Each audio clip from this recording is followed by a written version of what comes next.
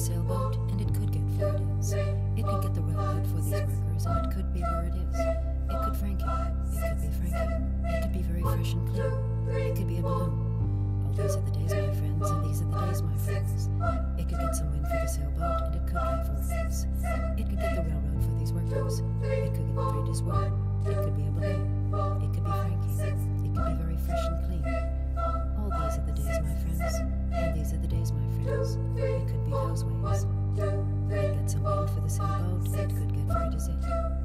could get the railroad for these workers, and it could get where it is. So these are the days, my friends, and these are the days, my friends. And these days of 888 cents and 106 coins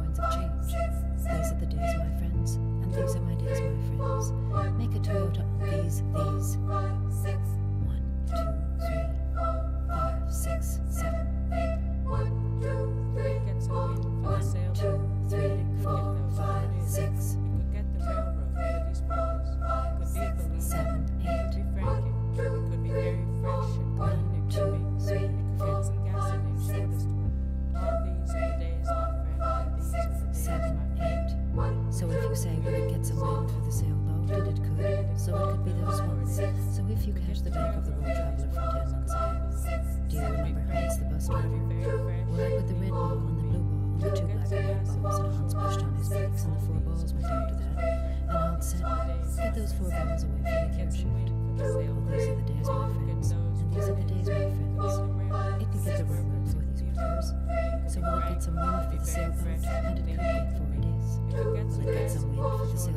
and it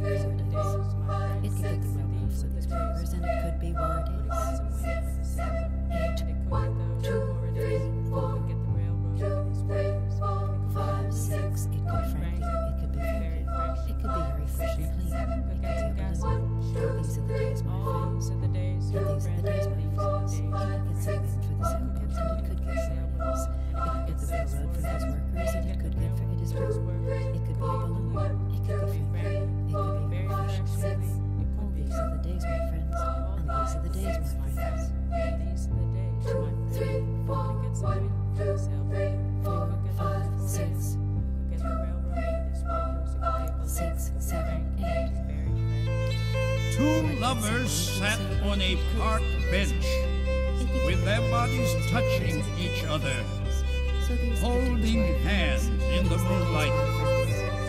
There was silence between them. So profound was their love for each other, they needed no words to express it.